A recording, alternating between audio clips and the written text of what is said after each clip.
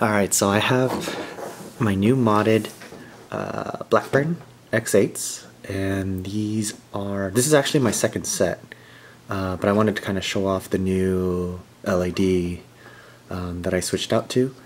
Um, so one's going to be the original and one's going to be the new LED and I figured it'd be kind of a nice little test to shoot at some uh, random junk in the background. So I'm, I'm at the end of my garage. Let me go turn off the lights.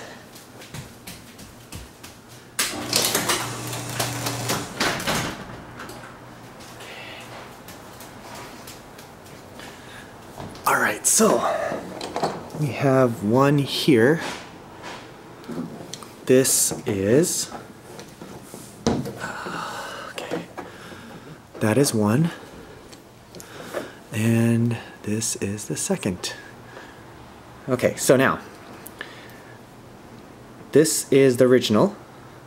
This is high, medium, and, oh, strobe. So high, medium, low, and then strobe. There you go. So now here is the new one, which is high. Let's let the camera focus a little bit. Medium, low, and strobe.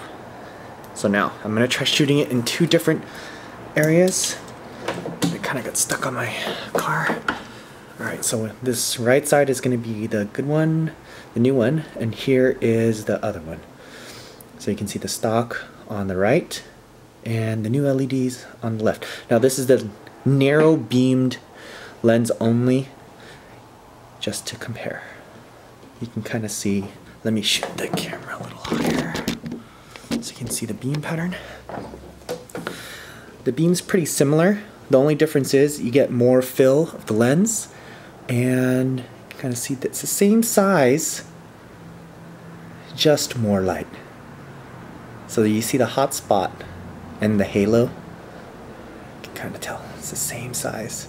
So it's just more fill. There's a lot more light just to fill that all out. This is the medium comparing and on low. There's low. And it doesn't actually flicker in real life. I think it's just a camera refresh rate. Okay, thank you very much.